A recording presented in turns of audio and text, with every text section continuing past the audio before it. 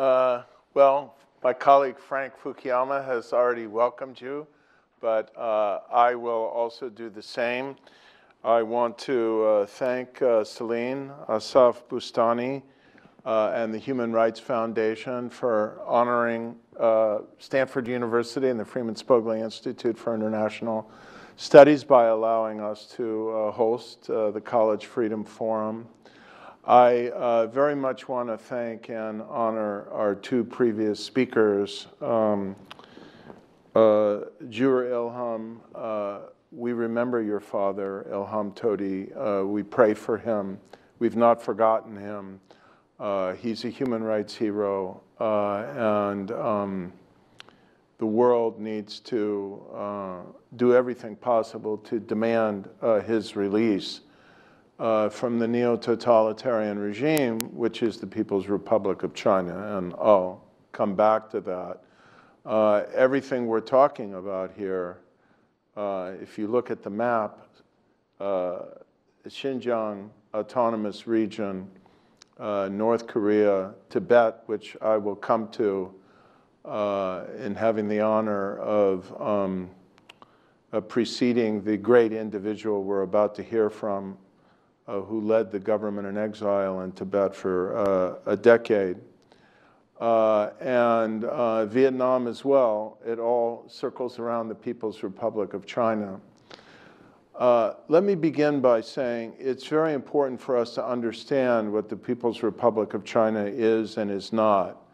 We had hoped uh, when we admitted China to the WTO a little over 20 years ago uh, that it would embark upon a path of, in a way, liberalization, uh, and that by being integrated into the world trading system, the same world trading system that you uh, have heard uh, Ilham describe China's abuses of, uh, that it would become what uh, the former Deputy Secretary of State Robert Zoellick called a responsible stakeholder in world affairs, and that gradually it would become less repressive, more pluralistic, more open, and so on.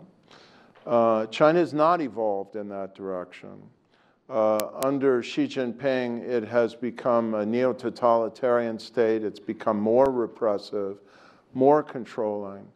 Uh, and if you want to see the future that the Chinese Communist Party state has in mind for the country, it's worth paying close attention to what's going on in the Uyghur region because that is where they have been rolling out the social credit system of trying to aggregate all of people's data and information into a single integrated system that would understand every uh, social media post uh, that they are posting, uh, every expenditure they have in a uh, monetary system that has now gone cashless and relies on a central bank digital currency, uh, that uh, every transaction of which can be monitored, every social interaction, every movement with the Orwellian presence of surveillance cameras, uh, and this is, this is the future of China uh, if we don't stand up uh, and pressure uh, for change. Uh, moreover, if you watch what China is doing now throughout the region, uh, not just in its pressure on Taiwan, one of the most liberal democracies in Asia, but its effort to command and appropriate all of the resources uh, and maritime uh, trade units, uh, uh, trade passageways in the South China Sea, you see uh, the increasing danger of um, aggression and of China's effort to dominate and be a hegemonic power through the entire Indo-Pacific region. Uh, this is why the Philippines now, under um, President Ferdinand Marcos Jr., uh, is building up uh, its Navy and uh, coastal defenses and turning to the United States after a period when the Philippines turned away from the United States, uh, and to uh, Korea and Japan and other countries for mutual defense against the rising authoritarian threat. Uh, and no country, no people uh, faces a greater danger than Taiwan. Uh, the uh, Chinese Communist uh, leadership under Xi Jinping has made it clear uh, that they think Taiwan is not only a part of China, but is a part of the People's Republic of China, the neo totalitarian state that is ruled by the Chinese Communist Party, and that uh, if reunification, in their terms, cannot be achieved by peaceful means, then uh, it should be compelled by force. Today, um, the People's Republic of China is increasing its military expenditures and the expansion of its military forces, particularly uh, the People's Liberation Army Navy, at a faster rate than any country in the world. Uh, it's the second largest spender in the world uh, on um, military. It's expanding its nuclear forces, uh, and it's increasingly intimidating a peaceful island, the Republic of China, Taiwan, that simply wants to be um, left to enjoy its democracy and its freedom, at least until such time uh, as maybe democracy would uh, descend on the Chinese mainland and the controversy across the strait could be uh, resolved by peaceful means.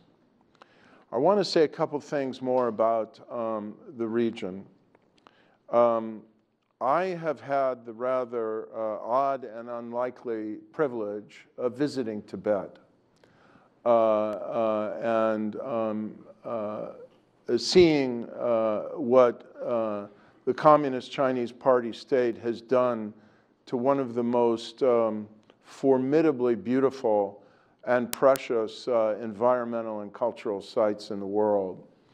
Uh, I have never had, in all my travels to more than 70 countries, a more shocking and depressing experience than seeing, um, first of all, the palpable fear. Of course, I haven't been to the Uyghur region, or I probably would have seen it there. The pervasive fear uh, that the Chinese Communist Party state has implanted uh, in Tibet by banning any display or sign of devotion to Tibetan Buddhist religion, uh, to the Dalai Lama, or um, uh, to the principles of the Tibet, democrat, increasingly democratic principles of the Tibetan uh, government in exile.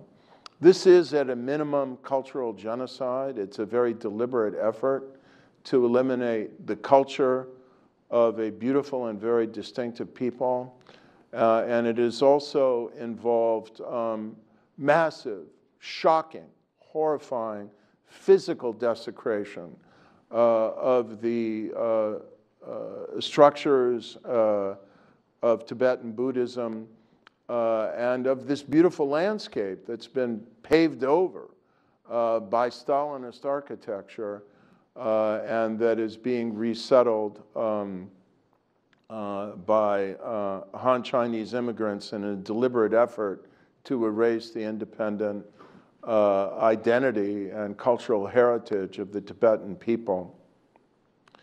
I might add, with respect to Vietnam, because I know we're going to have a wonderful performance soon, uh, that we'd hope Vietnam as well would move in a more uh, democratic uh, direction. Uh, it isn't as wealthy as China. It isn't as um, uh, far along in modernization. but there again, you have a Communist Party leadership that is desperately afraid that its people, particularly its young people, once they get more access to information, uh, more awareness of the outside world, will want what people everywhere want freedom and human dignity. Uh, and so in Vietnam as well, uh, freedom is moving in the other direction, in the wrong direction, in the direction of closure suppression uh, and paranoia by a uh, regime that is threatened by nothing more profoundly than the free flows of information. And so I'll conclude uh, by uh, a personal reflection on what you just uh, heard uh, from our very brave speaker, Eunhye Park. And let me say I've, I've had the privilege over three decades of interviewing some of your fellow escapees I don't think that there is any more repressed country in the world than North Korea.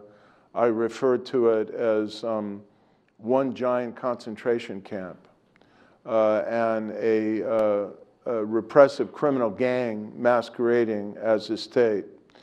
This state is an enormous uh, danger to world peace, not only because of its accumulation uh, of nuclear weapons and its nuclear threats, but I think you now know uh, of the unholy alliance that's been reached between Russia and North Korea that is trying to bail out uh, Vladimir Putin's uh, a, a, war of aggression in Ukraine by providing uh, Russia with some of the uh, artillery shells and other military supplies it needs to sustain this campaign. And of course, you can imagine what's flowing technologically and otherwise in the other direction to help um, sustain the North Korean regime.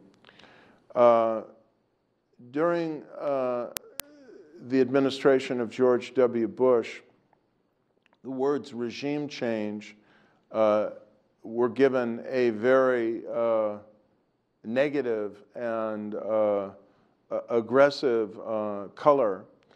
Uh, and I understand it, I was in Iraq. Uh, I think it was a very ill-considered military intervention. but um, regime change is what is needed to secure human rights uh, and human dignity in all of the places I've talked about. And we're not talking about regime change by military force or military subversion uh, or uh, any of the other means that they would like to use against free societies, uh, including Ukraine and Taiwan. Uh, there's nothing uh, that would be more subversive of these neo-totalitarian regimes and more facilitating of their transformation to human rights respecting societies than the promotion of free flows of information and ideas. You saw one in those thumb drives. I can tell you without being able to talk about it in detail, there are some other extremely exciting, uh, technologically sophisticated um, innovations that are going on now to uh, break the great firewalls that surround these countries and free these people's minds because once they do that, they will free their systems. Uh, and it's my great honor now to turn it over to Lobsang Sangay.